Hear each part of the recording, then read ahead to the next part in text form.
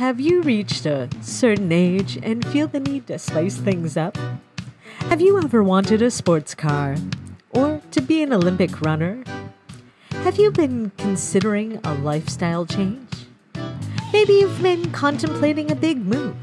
Perhaps you are looking at a new career. Do you want to try it all out first? Well, don't let this game pass you by.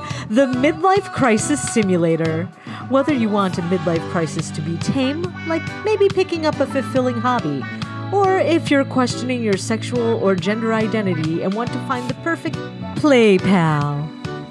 Just to make sure, perhaps you just want to go balls to the wall, get really into kink culture, sell your house for a mobile dungeon, develop a peyote habit, and spend your evenings having sex on the back of camels while you wander in the desert. Simulate, then dominate. The Midlife Crisis Simulator. Why do it IRL if you can do it in the game?